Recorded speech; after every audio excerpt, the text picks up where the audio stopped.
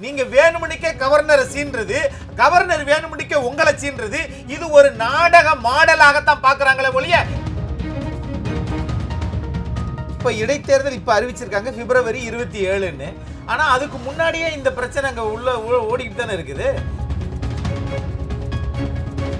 அது India today Tamil Nadu தான் ம- முன்னணியில இருக்குது. கரெக்ட் அப்படி பார்த்தா அதுல மூணு ஆண்டு காலம் தமிழ்நாட்டில் எடப்பாடி முதலமைச்சராக இருந்தார்ல?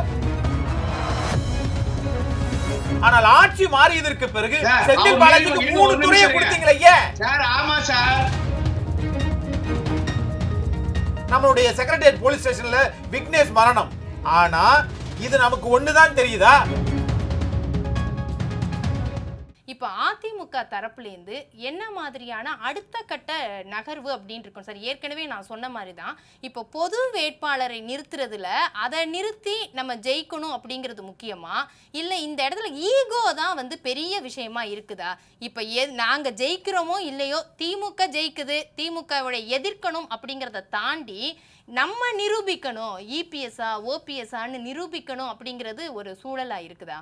அதாவது அது உள்கட்சி பிரச்சனை இடைத்தேர்தல் வந்து இப்போ நடந்தது. ஆனால் இப்போ இடைத்தேர்தல் இப்போ அறிவிச்சிருக்காங்க பிப்ரவரி இருபத்தி ஏழுன்னு. ஆனால் அதுக்கு முன்னாடியே இந்த பிரச்சனை அங்கே உள்ள ஓடிக்கிட்டு தானே இருக்குது. செல்வி ஜெயலலிதா அம்மா இறந்ததற்கு பிறகு இடைக்கால பொதுச் செயலாளராக நாலு இடைக்கால பொதுச் செயலாளர் வந்திருக்கிறாங்க. ஆனால் இது அவங்களுக்குள்ளே இருக்கக்கூடிய பிரச்சனை. ஆனால் பிரிஞ்சு கிடக்கிறாங்கன்னு சொல்கிறத காட்டிலும் பிரிஞ்சு கிடக்கிறதே ஒரு நல்லதுன்னு நினைக்கக்கூடிய கட்சிகளும் இருக்கத்தான் செய்யுது. ஆ இருக்கட்டும்பா. அவங்க நினைக்கிற அளவுக்கு ஏன் இடம் கொடுக்குறீங்க நீங்க? அது ஏன் இடம் கொடுக்குறீங்க? அது இடம் கொடுக்கறது இப்ப இல்ல. தமிழ் மாநில காங்கிரஸை நிக்க வைக்கிறதுல என்ன பிரச்சனை. இப்ப அப்படி அப்படி நிக்க வச்சீங்கன்னா இபிஎஸ் ஆதரவு ஓபிஎஸ் ஆதரவு பாஜக ஆதரவு எல்லா மற்ற கட்சிகள் எதிர்த்தரப்புல ஆதரவுங்கும் போது நீங்க ஒரு வலுவா இருக்கும்ல திமுகவை எதிர்க்க முடியும்ல உங்களுக்கு அதை வெற்றி பெறணும் அப்படிங்கறத விட ஏன் இதை என்னங்கிறத நான் வந்து நிரூபிக்கணும் அப்படின்னு தான் ஈகோ தான் அங்க பிரச்சனையா இருக்கா? கட்சி நலனை விட. சொந்த நலன் தான் முக்கியமா இருக்கா? ஈகோ கிடையாது. கட்சி நலன்லாம் கிடையாது. நீங்க பிளவு பிளவுன்னு சொல்லிட்டு இருக்கீங்க. நாலு சட்டமன்ற உறுப்பினர்களை வைத்திருக்கக்கூடிய ஓபிஎஸ் அவர்கள் இன்றைக்கு சில கட்சிகளுக்கு ஆதரவாக செயல்பட்டால் அது எது பிளவு? அதிமுகவுக்கு செய்யக்கூடிய துரோகம் தான் பார்க்கறாங்க அந்த கட்சியினுடைய தொண்டர்கள்.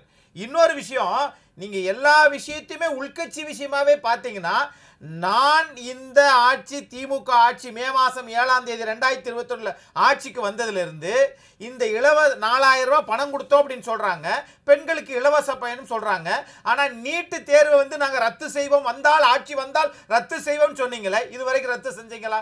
ஆனால் தமிழ்நாட்டில் சட்டம் ஒழுங்கு சிறப்பாக செயல்படுகிறது. அமைதி பூங்காவாக திகழ்கிறது என்று ஆளுநர்கிட்ட எழுதி கொடுத்துருக்காங்க உரையில. ஆளுநர் படிக்கலை. அப்புறம் தான் பார்த்தா தெரியுது மத்தியில் உள்துறை அமைச்சகத்தில் இணைந்து பாராளுமன்றத்தில் ஏற்கனவே எடப்பாடி பழனிசாமி அவர்கள் தமிழ்நாட்டில் முதலமைச்சராக இருந்தபோது அறுபத்தி மூணு ஃபேக் என்கவுண்டர் அப்போது இது கஸ்டோடியல் டெத்து அறுபத்தி மூணு ஃபேக் என்கவுண்டர் மூணு. ஆனால் அது ஐந்தாண்டு காலத்தில். ஆனால் தமிழ்நாட்டில் திமுக ஆட்சிக்கு வந்ததிலிருந்து பாராளுமன்றத்தில் உள்துறை அமைச்சர் சொல்லியிருக்குது. சார் வந்து நம்மளுடைய ஸ்ரீதர் சார் சொன்னாங்க. அதாவது நீங்க ச- சதீஷ். சதீஷ் தானே சார்? சதீஷனுடைய விக்னேஷ். மரணம். நம்மளுடைய செக்ரட்டரியேட் போலீஸ் ஸ்டேஷன்ல விக்னேஷ் மரணம். ஆனா இது நமக்கு ஒண்ணுதான் தெரியுதா?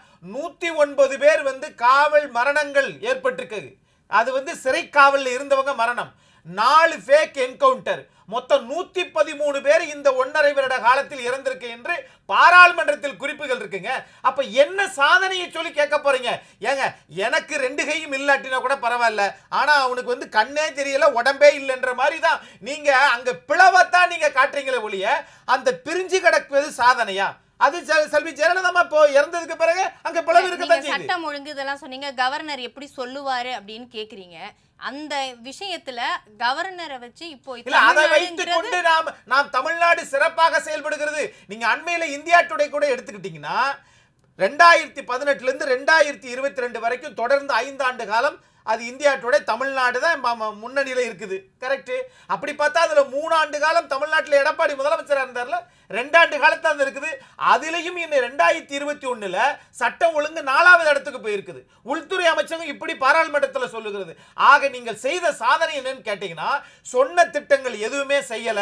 தேர்தல் அறிக்கையில சொல்றது எதுவுமே செய்யல. வெறும் விளம்பரம் விளம்பரம் விளம்பரம் தான் மாடலாகவே வைத்திருக்கிறார்கள் அப்படின்னு தான் மக்கள் பார்க்க எதிர்க்கட்சியா அதிமுக என்ன பண்ணுச்சு? எதிர்க்கட்சியா? என்ன பண்ணுச்சு அதிமுக?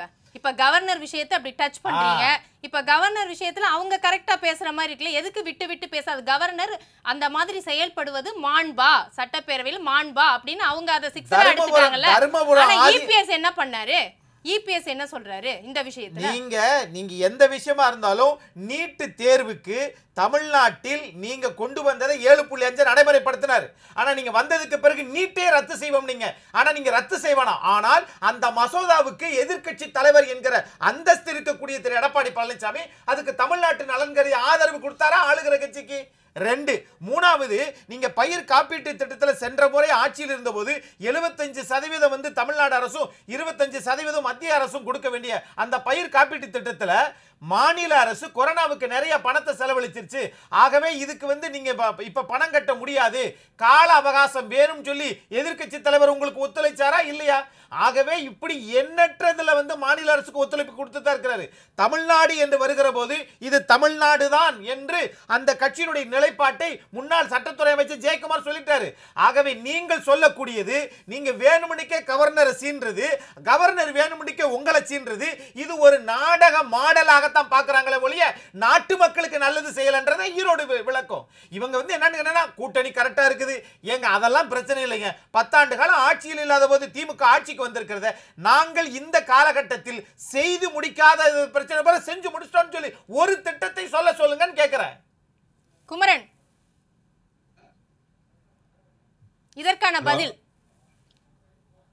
இப்ப அதிமுக ஆட்சியில வந்து அவங்க எல்லா அமைச்சர்களும் அது அவங்க செய்ய அவங்க செய்யாதது நாங்க செஞ்சிருக்கோம்னு சொன்னீங்கல்ல அவங்க செஞ்சதை நாங்க ஒண்ணும் செய்யல. அப்படி வருவோம். அதாவது எல்லா மந்திரியும் கொள்ளையடிச்சாங்க. அத்தனை மந்திரியும் கொள்ளையடிச்சாங்க. ஏடிஎம்கே அத்தனை மந்திரி கொள்ளையடிச்சாங்க. பேசுறவரு அவர் ஏடிஎம்கே ஆதரவா பேச ரைட் அவர் ஏடிஎம்கே கார பேசிட்டு போனா அதை பத்தி பிரச்சனை இல்ல. ஆனா எல்லா மந்திரியும் கொள்ளையடிச்சாங்க. என்னன்னா ஒரு ஒரு அக்குறமான ஆட்சி தமிழ்நாட்டுல நடந்துச்சு. ஆனா இன்னைக்கு என்ன அப்படிப்பட்ட ஆட்சியா நடக்குது? Sir sir. என்ன சார் அக்னீஸ்வரன் சார். இதோ இடையில வீடியோலாம் சார் குமரன் சார் ஒரு நிமிஷம் வீடியோ எல்லாம் இடையில வந்தது. இதோ கவுன்சிலர்கள்லாம் கேக்குற மாதிரி அந்த இல்ல இல்ல. அதாவது நண்பர் குடியாத்தம் குமரன் தெளிவா ஒரு விஷயத்த சொன்னாரு. நாட்டு மக்களுக்கு ஜீ தமிழ் வாயிலாக மக்களுக்கு போய் செய்- செய்தி சென்று சேரட்டும். எல்லா அமைச்சரும் கொள்ளையடித்தார்கள். அதை கொண்டு போய் திமுக ஒரு வந்து கவர்னர்ட்ட கொடுத்துச்சு. அதுல செந்தில் பாலாஜியும் இருந்தார். ஆனால் ஆட்சி மாறியதற்கு பிறகு செந்தில் பாலாஜிக்கு மீது மூணு துறையை நிமிஷம் கொடுத்தீங்களே ஏன்? சார் ஆமா சார். ஏன்? செந்தில் பாலாஜி இருந்தார். நீதிமன்றத்துக்கு போனாரு. நீதிமன்றத்தில் குற்றமற்றோன்னு வந்துட்டாரு. திரும்பி அப்பீல் போகிறாங்க. அவர் அது போய் கோர்ட்ல கேஸ் பாக்குறாங்க இது வந்து எம்ஜிஆர் இருக்கும்போது திமுக இருந்து போனாங்க. அப்புறம் எம்ஜிஆர் திமுக வந்தாங்க. அப்புறம் ரெண்டு பேர் ஜெயலலிதா கிட்ட போனாங்க. அப்புறம் ஜெயலலிதா ரெண்டு பேர் இங்க வந்தாங்க. அதனால இது கட்சி மாறுறது. இங்க வந்து அதே தப்பத்தானே அதே தப்பத்தானே ராஜேந்திர பாலாஜி செஞ்சாரு. அவரை மட்டும் விரட்டி விரட்டி பார்க்க போனா அதிமுகவே திமுக தான் போச்சு. இதெல்லாம் சகஜம். நீங்க பேசுறது. இப்ப இந்த ஈரோடு இடைத்தேர்தல் பொறுத்த மட்டுக்கும் நீங்க வந்து கட்சிக்கு ஒண்ணு சொல்ற ரெக்கார்ட் பண்ற எழுதிக்கங்க. நேற்று ஒரு ஆங்கில பத்திரிகை செய்தி. ஈரோடு இடைத்தேர்தல் வரும்போது ரெட்டை சின்னமே இருக்க போறதுல எதுக்கு என்ன சொல்றீங்க? ரெட்டை சின்னமே இருக்க போறதுல எடப்பாடி ஏதோ புல்லட் சின்னம் கேட்டுக்கிறாராம். புல்லட் வாங்கிக்கலான்னு கண்டிப்பா எடப்பாடி பழனிசாமி ஒரு வேட்பாளரை போடும் போது ஒரு வேட்பாளரை போடும்போது ஓ பன்னீர்செல்வம் ஒரு வேட்பாளரை போடுவார். அப்போ ஓபிஎஸ் சின்னத்தை கேட்பாரு. இபிஎஸ் சின்னத்தை இபிஎஸ் ஆல்ரெடி அவர் தான் ஏடிஎம்கேனுடைய இடைக்கால பொதுச் செயலாளர். ஆனா தேர்தல் கமிஷன் என்ன கேட்டாங்க? விவரமா பேசுறாரு. இருங்க சார் தேர்தல் கமிஷன் என்ன கேட்டாங்க? இது வந்து எங்ககிட்ட வந்து ஒருங்கிணைப்பாளர் ஓ பன்னீர்செல்வம் இணை ஒருங்கிணைப்பாளர் எடப்பாடி பழனிசாமி இப்படிதான் இருக்குதுன்றாங்க. பிஜேபி காரு வெற்றி செய்ய போறாங்க. நீங்க என்ன பாருங்க. பிஜேபி ஏடிஎம்கே வெற்றி செய்ய போறாங்க. ரெட்டலை சின்னத்தை முடங்க போறாங்க. எடப்பாடியும் சுயேட்சைதான் நிக்கணும்.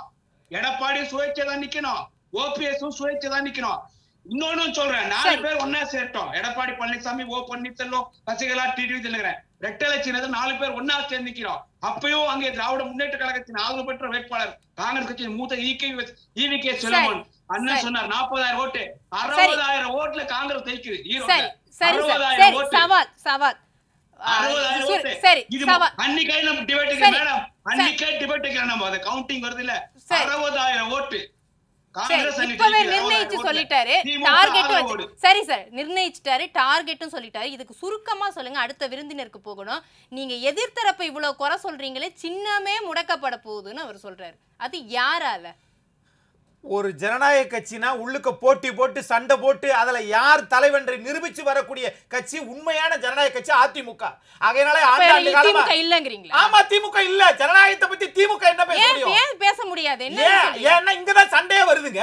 அங்க என்ன சொன்னாலும் சரிங்க. நீங்க யார் அமைச்சரா ஏங்க நாங்க தான் செந்தில் பாலாஜி சொன்னோமுங்க இல்ல செந்தில் பாலாஜி தான் மூணு துறை குறிப்போம். அவர் தான் கரெக்டா அங்க நடந்துக்கிறாரு. அப்ப அப்படின்னு பார்த்தா அப்ப நீங்க ஆண்டாண்டு காலமா ஒரே ஹைரார்க்கியா போய்கிட்டு இருக்கு. இங்க அப்படி கிடையாது. ஒரு அண்ணன் சொல்லவா? ஒரே ஒரு வாரிசு அரசியல வந்து அம்மாவுக்கு பிறகு கொண்டு வந்தாங்க. யாரு? ஓபிஎஸ் பையனை. இன்னைக்கு அவர் பாஜக ஆதரவாளர் தான் போய் நிக்கிறார் ஒழிய அதிமுகவினுடைய நிலைப்பாட்டில் அவர் இல்லை அப்படின்னு தெரிஞ்சு போச்சு இப்போ.